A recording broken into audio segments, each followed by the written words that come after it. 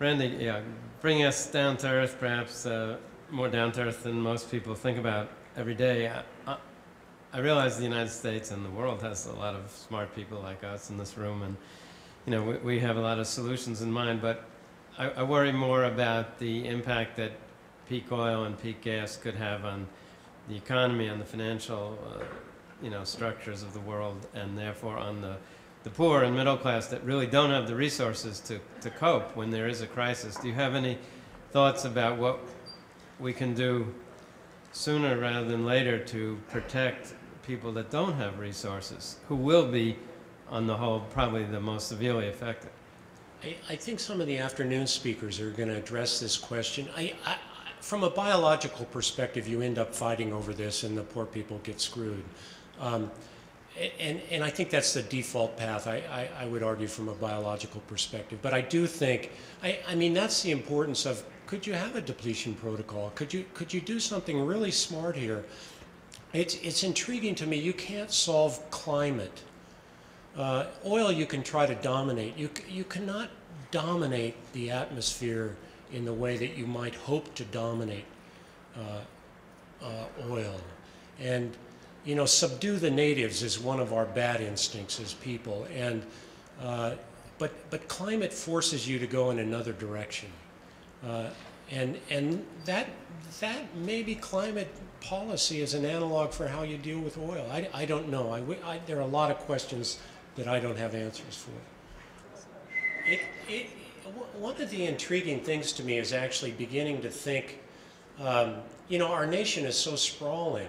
But there are only about 10 states that produce more energy than they use. And, and as I've been going to South Dakota and some of these other places, I've been encouraging people to think, draw, draw a circle around the area in which you live, maybe a 500 mile radius or 300 mile radius, take your pick, and then challenge yourself to run run whatever is inside of that circle, not for 10 years or 20 years or 30 years, but for 200, for 300, for 400. And it's easy for me to figure out the answer to that in South Dakota or Nebraska, Minnesota, Wisconsin even. Gets more difficult in the more densely populated states. And I would agree with you. I have lots of politicians in my family, and I typically I just do a blanket public apology for how broken our political system is. But uh, it has responded in the past to great challenges, and I, I'm actually hopeful that we will again. What is your plan for us to, for localizing? What are you doing to self, become self-sustainable? Me personally. Are you? Yeah, I um, I live four miles outside of a small city in western Colorado. I you know, none of what any of us are doing are enough, but I have a photovoltaic system on my house, a solar hot water system on my, two or three of them actually. Uh, I heat with wood. I've reduced my greenhouse gas footprint in that house by 75%. None of this is adequate. None of it's enough. Um, but, you know, I, that's where we're starting now. That's, you, you would just you have to, no, no action, no hope. I mean, that's kind of my motto you recommend tying into the grid? On, or no, I think you want to be a part of the grid and a part of the community. The grid is the best resource we have in the station right now. That's why we don't need hydrogen. You know. uh, my, my takeaway from your speech was uh, speak truth to power and don't be shrill. So my question is, uh, I'm living in the aerospace industry and I work with very capable, very smart folks.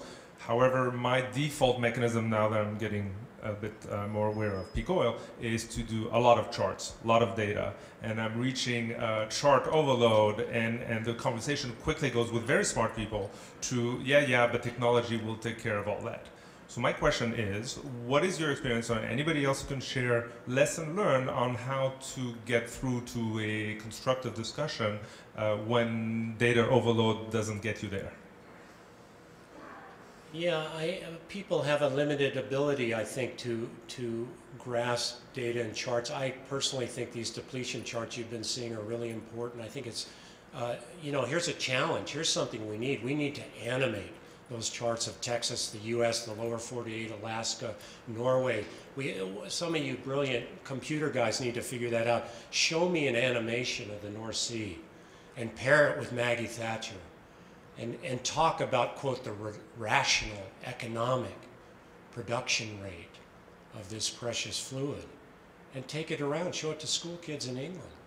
You know, I mean, they're going to end up barbecuing baby boomers anyway, so it's probably good that they get, you know, learn that early on. Um, last night during the film, they talked about the fact that uh, if Iraq was a major importer of carrots, we probably wouldn't have invaded it. Could you talk to how you see of how do we begin to address the issue of the power of war in international politics and the economic ramifications so that more people outside of the choir can understand what a powerful driver that is and why very important decisions are made?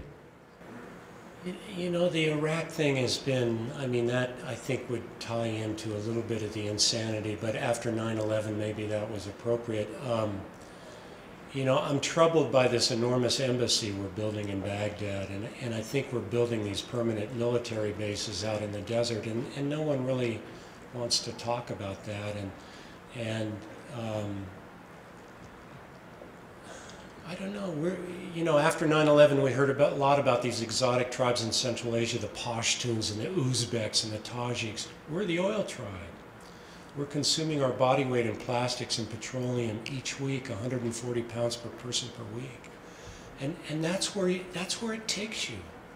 Given how oil's distributed on the planet, if you're the oil tribe, you you end up there, and you end up there time and time again.